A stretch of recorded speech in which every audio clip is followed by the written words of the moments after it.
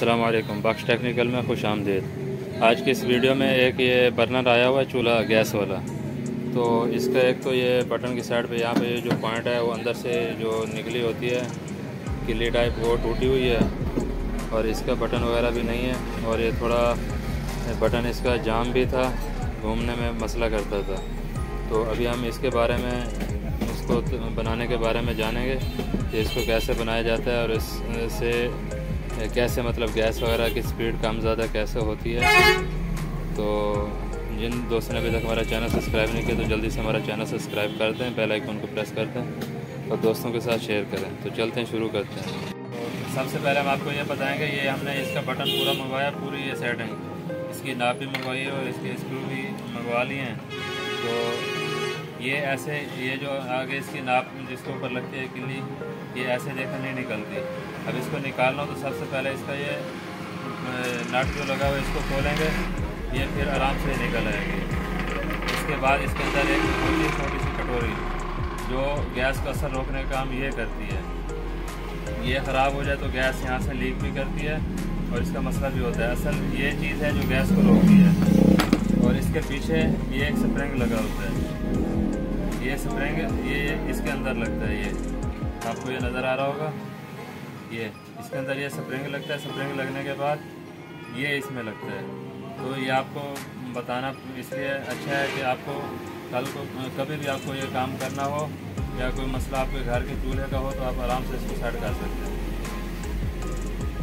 इसको उल्टा करके ना इसके जो बर्नर अंदर लगे हुए हैं, उसके पीछे यहाँ पे बोल्ट लगा होता है। तो ये बोल्ट हम खोलते हैं, इसको बाहर निकालते हैं।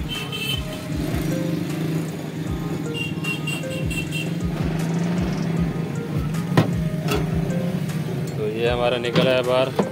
इसको भी बाहर निकाल लेते हैं। इसी तरह ये भी हमने, ये इसका बोल्ट लूज़ किया हुआ है।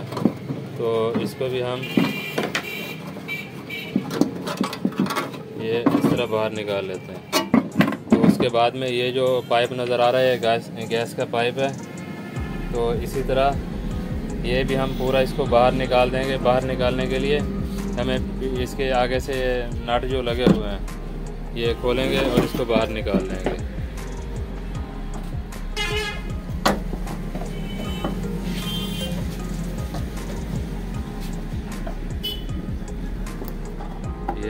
जंग की वजह से, मट्टी की वजह से ये थोड़ा जंग आलूद हुए हुए हैं तो इसलिए थोड़ा टाइट हो रहे हैं खोलने में। तो जब भी दोबारा इसको खोलें, साफ़ करके, ग्रीस करके, फिर दोबारा से लगाएँ, ताकि दोबारा खोलने में इतना परेशानी ना हो। इसी तरह इसके आगे का, ये भी हम खोल लेंगे। तो ये दूसरी साइड का भी नट तकरीबन खोल लिया है। खोलने के बाद में आराम से इसको घुमा के घुमाने के बाद ये निकाल लेंगे बाहर। तो ये बॉडी के साथ थोड़ी इसके अंदर की जो एक स्क्रू टाइप एक किली लगी होती है, वो इसके साथ टच हो रही है। तो आराम आराम से इसको ऐसे साइड से करके निकाल लेंगे। देखिए, इसके पीछे का ये स्प्रिंग है। ये भी तकरीबन जाम भी हुआ है और थोड़ा अंदर से जांगल तो ख़राब भी हुआ है कचरे की वजह से। तो ये हमारा ऊपर का तकरीबन हमने इसको खोल लिया है। अब पीछे से इसका पूरा सिस्टम जो है हम बाहर निकाल लेंगे। तो सबसे पहले ये जो ऊपर ये स्टील की कटोरी नज़र आ रही है, इसको घुमा के खोलना है। खोलेंगे तो ये पूरी ये बाहर निकल आएगी। ये भी इसी तरह खोल के उसके बाद में दूसरी भी ये देखें, ये खोल के इसी तरह, ये दूसरी भी इसी तरह इसको खोल देनी है। ये खोलने के बाद अभी आराम से हमारा पीछे से पाइप बाहर निकल आएगा तो ये आपको पाइप नज़र आ रहा है तो यहाँ से जो पॉइंट है इससे और इससे थोड़ा सा ऐसे दबाएँगे तो वो पूरा पाइप जो है ना वो बाहर निकल आएगा। ये अभी ये पाइप निकल आया। अब ये बाकी जो इसकी बॉडी है, इसको साइड पे करके इसको सफ़ाई वगैरह करनी है तो सफ़ाई वगैरह कर लें। तो उसके बाद हम उसका पाइप का जो काम है, उसको तरतीब बनाएँगे उसकी। तो ये हमारा तकरीबन ये पाइप निकल चुका है बाहर।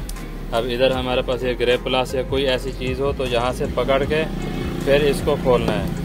क्योंकि आप ऐसे खोलोगे तो ये बाद पाइप जो है ना यहाँ से या किसी और जगह से टूट भी सकता है लीक भी हो सकता है इसलिए आराम से उसको उसके करीब पकड़ के तो इसको रेंच की मदद से आप उसको आराम से खोल लें लूज़ कर लें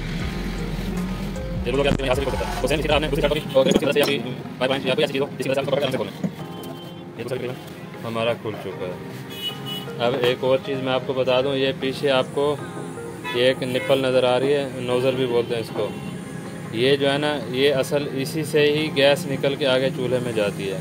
अगर कभी ऐसा हो या आप इसका होल देख रहे हैं, होल इसका बिल्कुल बराबर है, बड़ा होल है। बाद का जब नए चूल्हे लेते हैं तो इसका होल बिल्कुल छोटा सा होता है और उसका पाइप जो है ना बिल्कुल साफ़ होते हैं तो गैस ठीक होती है। तो कभी कभार ऐसा हो कि अगर आपके चूल्हे में गैस कम आ रही है तो इसी को, इस होल को जो है ना किसी नोकदार चीज़ के साथ थोड़ा सा बड़ा करके लगाएँगे तो इन आपका जो चूल्हा है ना, उसका प्रेशर गैस का वो ठीक हो जाएगा। तो अभी हम इसकी ये जो नोज़ल है, ये हम खोल के ये नए बटन में लगाएँगे, इसको फिक्स करेंगे। तो इसको खोलते हैं। ग्रे प्लाक से पकड़ के इस क्रैंक की मदद से इसकी ऊपर जो नोज़ल लगी हुई है, ये उसको ऐसे खोल लें। जो दूसरा है, उसका भी सेम इसी तरह आप जो है ना खोल के इसको साफ़ कर लें। साफ़ करने के बाद में नए जो बटन है, उसमें लगाएँ। तो ये हमने तकरीबन ये निकाल लिए हैं। निकालने के बाद में इसको अंदर का जो होल है, उसको अच्छी तरह कपड़े से या किसी स्क्रू ड्राइवर की मदद से या किसी भी मदद से इसको साफ़ कर लेना, क्योंकि इसमें कचरा होगा तो गैस का प्रेशर आगे सही नहीं जाएगा। तो करने के बाद एक चीज़ और भी बता दें, आपको बाज़ अवत ऐसा होता है कि बर्नर जो है ना, वो बर्तन वगैरह जो है ना, वो काले करता है, ब्लैक कर देता है धुआँ की वजह से और उसको उसकी मेन वजह जो होती है ना, वो ये होती है, ये आप इस जगह पे इसका होल देख रहे हैं। ये होल आपको नज़र आ रहा है। तो इसमें जब कचरा भर जाता है और आगे पाइप में कचरा भर जाता है तो गैस का प्रेशर आगे सही नहीं जाता है। नहीं जाता तो यहाँ से गैस निकलती है। तो उसकी वजह से भी बर्तन काले होते हैं और इस जगह से अगर ताज़ी हवा ऑक्सीजन यहाँ से गैस को ना मिले तो उसकी वजह से बर्तन काले होते हैं। तो ये लाजमी आपने ख्याल करना है, इसको अंदर से, कपड़े की मदद से या लंबा सा स्क्रू ड्राइवर या कोई ऐसी लोहे की तार हो जो कपड़े के अंदर डाल के ना, इसके सुराख के अंदर डाल के आगे तक इसको घुमा के ऐसे साफ़ कर लेना है। तो ये जो नोज़ल है, इसके ऊपर जो है ना टेफ्लॉन टेप, ये इसकी जो थ्रेड है, चूड़ी, इसके ऊपर टेफ्लॉन टेप लगा दें ताकि यहाँ से लीकेज वगैरह का मसला ना हो। बिल्कुल ऐसे आराम आराम से, इसके ऊपर जो है ना वो लगा दें। इसी तरह दूसरे के ऊपर भी इसी तरह लगा दें। और इसी तरह ये जो चूड़ी बनी हुई नज़र आ रही है थ्रेड इसके ऊपर भी आप इसी तरह टेफलॉन टेप लगा दें, ताकि यहाँ से भी लीकेज का कोई मसला ना बने। अब इस तरह भी लगा सकते हैं, क्योंकि ये जगह छोटी है, मैं हाथ की मदद से लगा रहा हूँ। लगाने के लिए आप उसको इस तरह टेप के साथ भी इसको आप लगा सकते हैं। मतलब जैसे आपको आसानी लगे, उस हिसाब से आप इसके ऊपर ये टेफलॉन टेप लगा दें।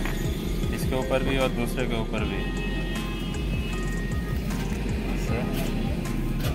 तो लगाने के बाद आप इसको, इसके ऊपर टाइट कर देंगे। हम लोग हाथ की मदद से जितना होता है, हाथ की मदद करके उसके बाद में इसको लाइन की मदद से मेरे ग्लास की मदद से आप इसको टाइट कर सकते हैं।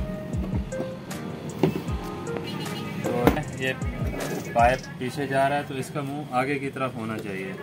क्योंकि ये आगे बॉडी इसकी आगे होती है तो इसका मुँह लाजमी जो है ना, वो आगे की तरफ़ पे रखना है। ये बिल्कुल इसी तरह। ये दूसरी साइड भी, इसी तरह इसको भी, इसका भी मुँह आगे की तरफ़ रखना है।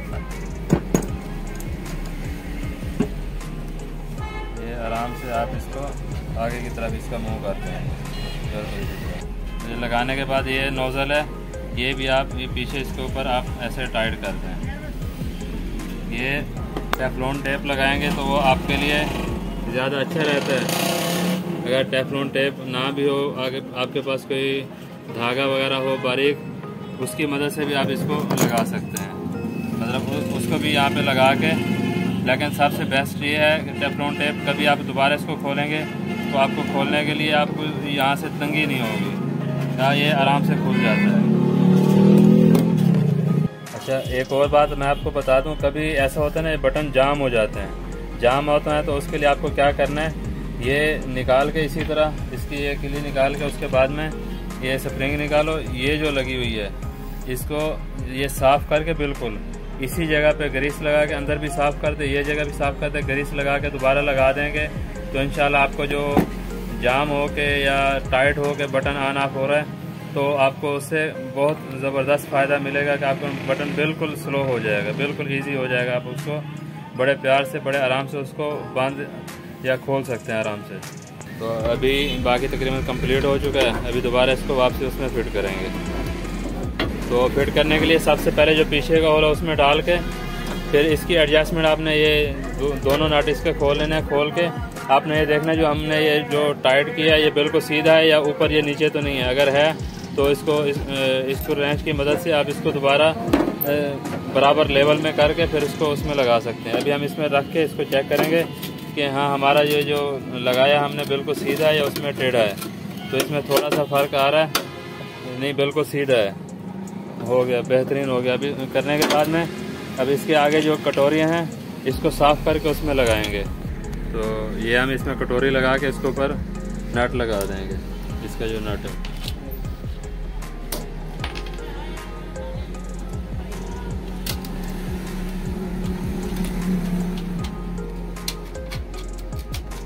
ये नट लगा दिया, फिर इसको इसको रेंच की मदद से आराम से इसको टाइट कर देंगे। अब इसी तरह दूसरी साइड का जो है, उसकी भी इसी तरह कटोरी लगा के, उसके ऊपर भी इसी तरह नट हम लगा देंगे। अब ये बिल्कुल बहुत ज़्यादा इसको टाइट नहीं करना, बिल्कुल थोड़ा सा टाइट करना, क्योंकि थोड़ा सा भी ज़्यादा टाइट हो गया तो ये चूड़ी भी लूज़ हो सकती है और इसका जो नट लगा हुआ ये भी टूट सकता है। इसलिए एहतियात के साथ इसको बिल्कुल आराम से टाइट करें तो अभी तकरीबन ये हमारा कंप्लीट हो चुका है। अब इसके ऊपर नाप वगैरह लगा के, अब इसके ऊपर नाप लगाने के टाइम है ना, आपने ये होल देखना है और नाप का भी होल देखना है। तो होल को होल के सामने देख के, फिर उसके ऊपर इसका नट जो है ना स्क्रू इसका वो लगाएँगे। बिल्कुल, अगर होल ऊपर नीचे हुआ तो फिर इसका स्क्रू नहीं लगेगा। ये आपने इसका ख्याल करना है। अभी ये नापें वगैरह हमारी लगी हैं, तकरीबन कंप्लीट है। अब इसके अंदर के जो मेन बर्नर हैं, वो अब हम इसके ऊपर जो है ना फिट करेंगे। फिट करने के पहले सबसे पहले इस तरह ये इसमें डाल के सबसे पहले इसका जो अंदर ये जो जगह है, हम डाल के फिर उसके ऊपर रखेंगे। इसी तरह दूसरा भी इसी तरह उसके ऊपर रखेंगे। तो इसी तरह वापसी इसके जो बोल्ट जहाँ से खोले थे, नीचे के से, वो बोल्ट लगा देंगे। तो ये हमारा तकरीबन कंप्लीट हो चुका है। तो उम्मीद है आपको वीडियो अच्छी लगी होगी। अच्छी लगी है तो लाइक करें, दोस्तों के साथ शेयर करें। मिलते हैं नेक्स्ट वीडियो में, तब तक के लिए अल्लाह हाफ़